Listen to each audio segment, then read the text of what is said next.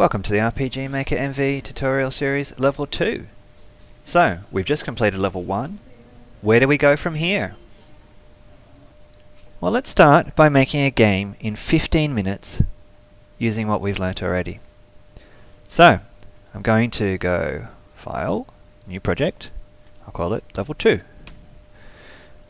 We're going to start up our new project, and once that's ready, we'll start the 15 minute timer. Let's go.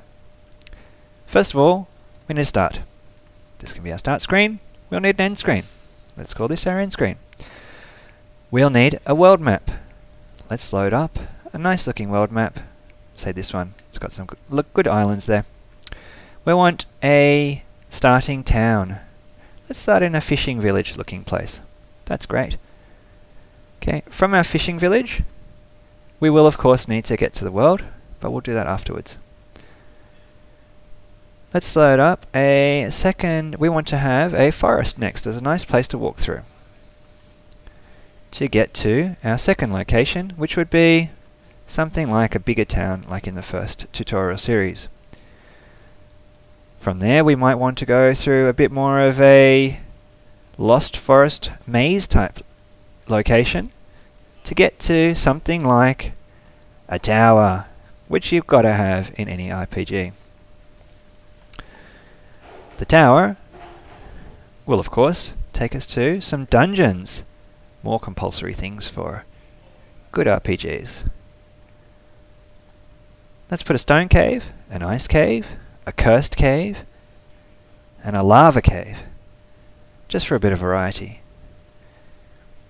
Then we want something a bit more interesting. How about we have some kind of a mystic looking teleporting location, and that can take us somewhere like a floating temple where we can end our game. Now we need to be able to get to and from those locations from the world map. So let's put our village down here. This looks like a good little village. It's on the corner we need to set an entrance.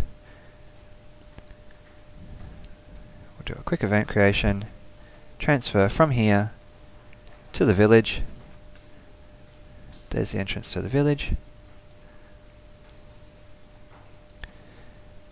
From the village, we need to be able to get back to the world map.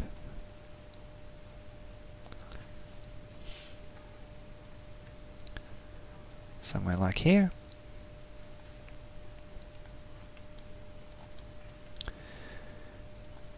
Once we get out there, we want to get into the forest. Let's put down a forest entrance. Transfer to the forest. At the starting point, we want to go up. Let's put that all across here, so that no matter where we go, we end up in the forest. And then we'll have an exit from the forest.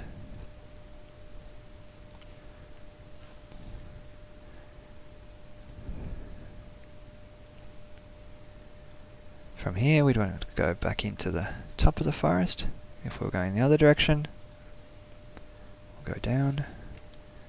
That can go there. Okay, we need to have entrances and exits from the forest as well. Quick transfer to the world, and that can just come out here.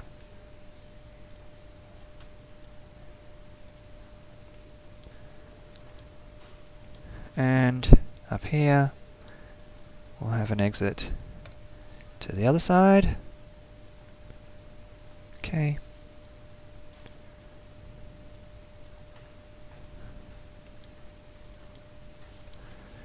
Excellent.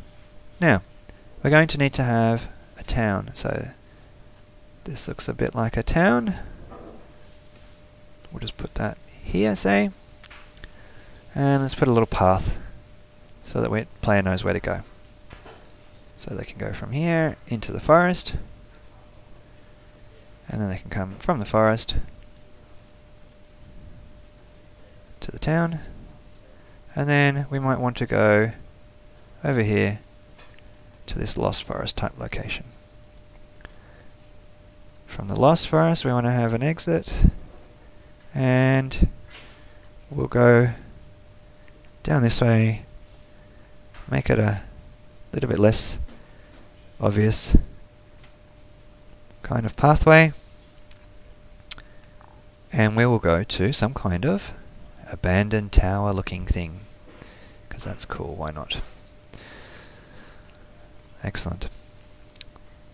So let's put our entrances to the town. We're going to go into our normal town, about here. Okay, go up. Just put that all over there. And from the normal tower, we want to be able to exit back out to the world. Same deal again.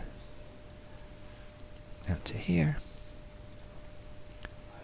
Go down.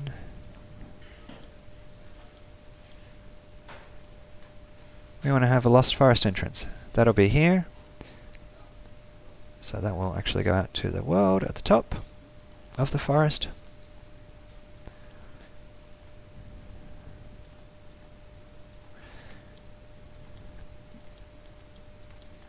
And we'll have exits from the bottom of the forest to the path down the bottom. Makes sense, doesn't it?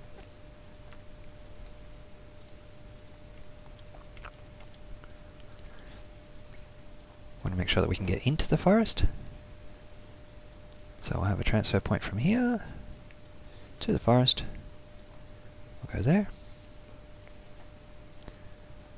And we want to have another transfer point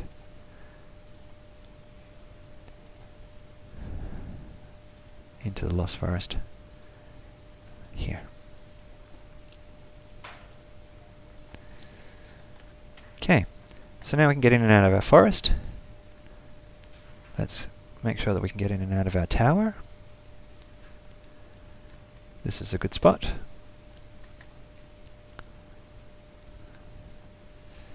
And from the tower we want to be able to exit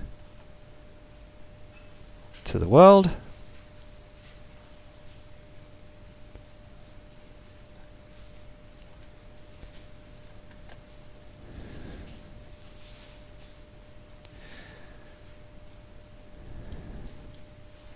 Right. Now, how do we get to our caves? Let's make some teleports. We'll just do some teleports from here. That's good enough. And we can go to our cave, to the entrance here.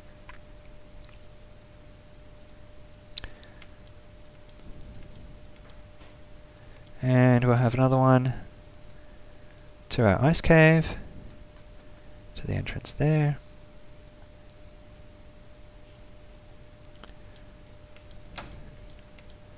Another one to our cursed cave. To the entrance here.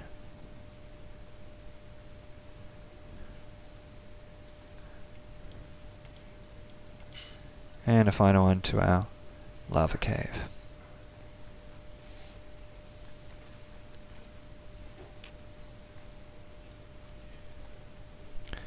Okay.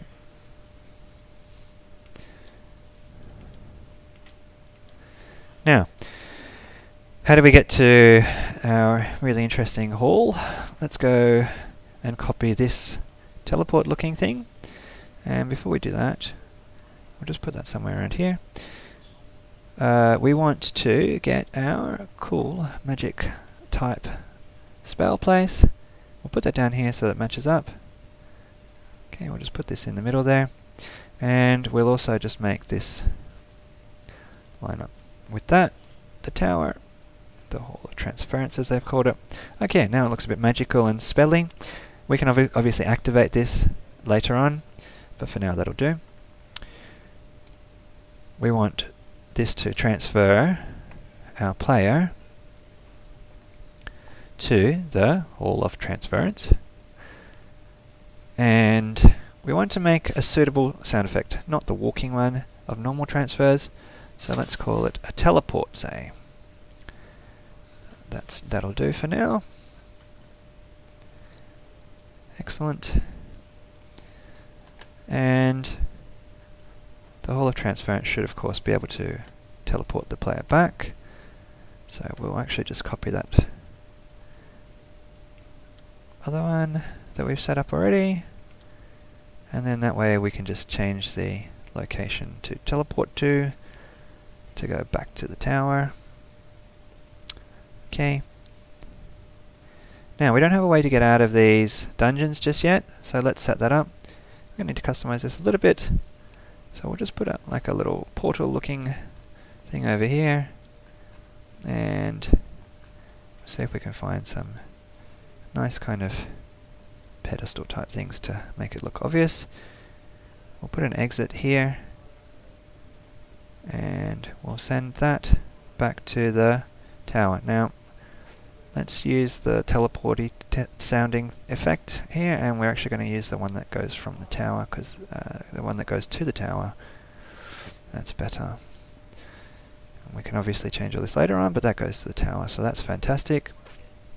Okay, Let's find a good spot in the ice cave, maybe up here. And we'll do the same thing. Put a little portal behind it. And some kind of pedestal there to show what's going on. Same again from the cursed cave. There's a spot. Sort of portal looking exit. Okay, and one more from the lava cave. And we've already got a sort of portal looking space there. Excellent. So now we can go back to the tower. We can go to the Hall of Transference. From here we need to be able to exit.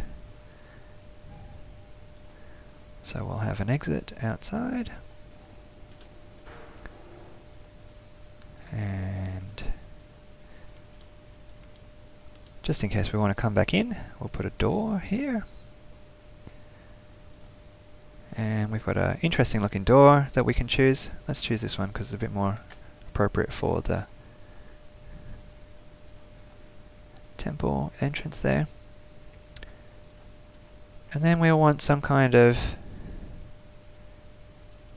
character who can finish this off. Let's call it the Fairy Queen. And she can say something like, You have saved me. We can then send the player off to the end of the game.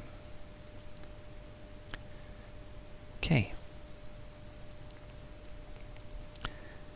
At the end of the game, we want to say we want to make sure that the player is transparent so we can't see them. We want to do something like you have saved the fairy queen and the world. What a hero. Credits RPG Maker MV Game Dev channel. And we'll then transfer, uh, we'll end the game and we'll go to the title screen. Okay, we do need a start point, so let's set up a start and we'll say uh, save the world. And we might put that into a scrolling text of some kind. Why not? And then we might say something like, what is your name?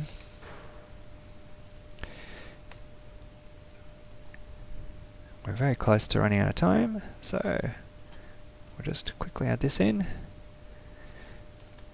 And we'll need to transfer the player to the first location.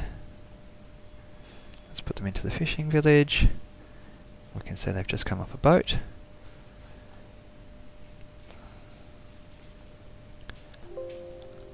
Excellent. before we start a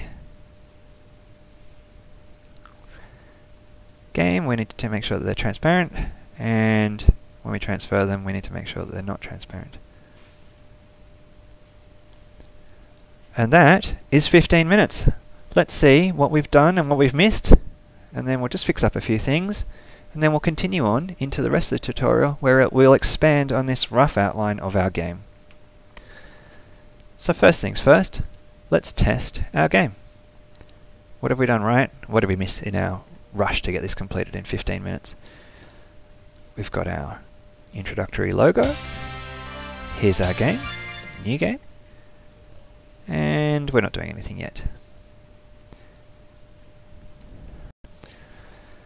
Just one last thing before we start, we need to make sure that our start and end events are on auto run or else they won't work. Okay, in our rush we also uh, set the forest, not the lost forest, which is where we wanted to go in this one. So let's just fix that up real quick. Okay. Right, we've made a couple of quick fixes. Now let's do our playtest. We could just use the playtest button, but let's do a deployment for PC. So we'll go to File, Deployment, and here we are, Platform for Windows. We can also deploy for Android, Mobile, Mac, uh, and Linux. We're just going to go with Windows this time. We'll exclude unused files, decide where we want to save it to, click OK. It's done. We'll open up our game.exe folder, and here we are in our full PC game. This can be packaged up and delivered to any platform you like, such as itch.io, for example, free. There's our new game. Here's our intro screen, just as we set it up. What's your name? Hardy. Why not? Off we go.